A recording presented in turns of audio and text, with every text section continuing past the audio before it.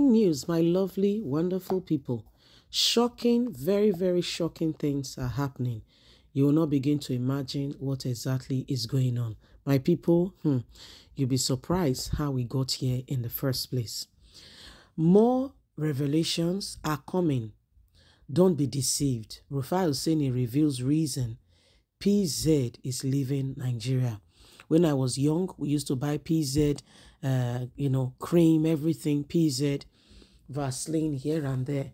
This company is leaving Nigeria. And what does that tell you? We are trying to create job to get more people out of unemployment. What we are seeing is more people are going into going into, you know, uh, going out of job and that will lead to what more stress in the economy because when people are not economically empowered what happens so these are some of the issues and some of the matters that are ongoing and we really need to ask god for mercy for this country because honestly i cannot tell you where this country is headed please don't forget to give us a thumbs up like us share subscribe let's get all the details don't be deceived. Rufai Oseni reveal reason why PZ is leaving Nigeria. The Arise TV anchor Rufai Oseni has given reasons behind the pharmaceutical company and other decisions to delist from Nigeria. In the post shared on his X platform on Saturday, December the 9th, Rufai Oseni disclosed that his source claimed PZ are delist, delisting because of Nigeria's economic crisis. According to him, PZ invested over $300 million in 2016 and suddenly in 2023 they are leaving they are leaving he noted that this is due to challenges and that and that things are really bad with the country's economy. The award-winning journalist warned that more revelations are coming and people should stop letting themselves to be deceived. Before PZ made this known, its position to delist, I already had information from sources they are delisting due to economic issues in Nigeria.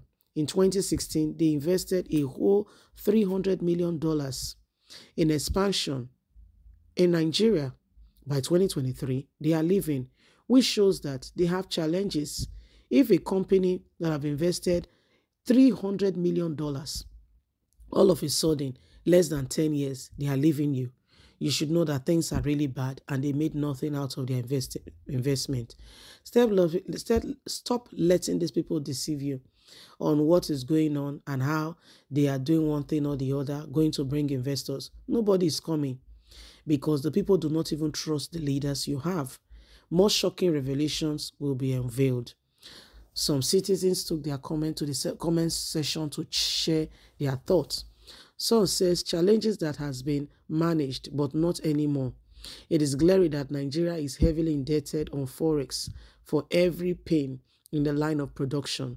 So that so they rather go elsewhere like P and G to Ghana or Egypt. Nigerians are being pushed to the wall and soon as it will be evident.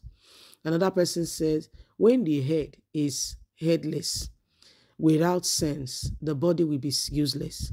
Home-based businesses folded up because you keep begging the ones outside to come invest.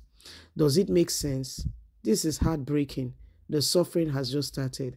Another one said, he said he would reduce their purchasing power. That's what Tinubu said. We produce you that video and it will slow down the economy. He said he was, and he's, he's doing exactly that. So people don't buy things. How will PZ want to stay? Another person said, doing business in Nigeria is challenging. Another one said, Nigeria for sure. Bad economy policy disturbing our progress. Another person said, many companies are folding up. But not just in Nigeria. The world economy downturn is affecting companies all over the world. Most companies would won't survive, couldn't survive COVID. They invested 300 million and COVID was 2019. What do you expect? Companies are leaving Nigeria. Have nothing to do with uh, President Bola Ahmed Tinubu. Big companies don't pay to close up within six months. and they can go elsewhere and do anything. It's an opportunity for Nigerians to invest and make money. So this is what is happening. Everybody have their opinion. You know, Rufai Oseni has come to tell Nigerians the true situation of things that, you know, all that glitters is not gold. People are leaving the country, investors. Um, these people invested a whole 300 million but I'll take a cue from what the last um, the last um, person who gave a view said. Um, it may not be totally dependent on Tinubu. Let's look at it, you know, with a with a fair lens. 2016, they invested they invested 300 million. Yes. 2019, there was COVID. Nobody was buying anything. Shops were locked. It was only food that was selling, and even that food safe, it was God that helped us all through. It, and really, sincerely, truly speaking, let's be candid. It's not just in Nigeria that you know companies are having issues. This was not just in Nigeria.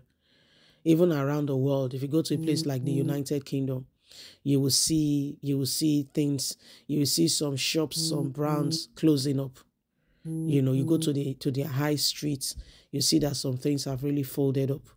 So it's not just because you know, just Nigeria. But again, the Nigerian economy and the leaders we have are not encouraging them to tell them, you know, although although you are having challenges now, these are things we've put in place.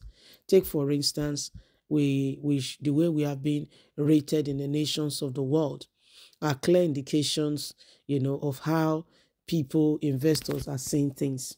So if really sincerely, truly speaking, we really want to come off some of these things, we'll need to do more.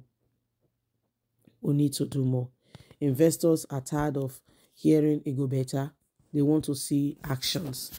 Tinubu was outside, you know, the country trying to get people to come invest. But some, you know, Oyibo people, they're not going to tell you, say, they're not going to invest. Too. They will keep quiet, they'll be looking at you, and they'll be looking at you. They won't say a word. They'll be looking at you. When they go, they'll tell you behind you, they'll say fantastically corrupt. Of course, we saw we saw uh, former prime minister of uh, Great Britain do that.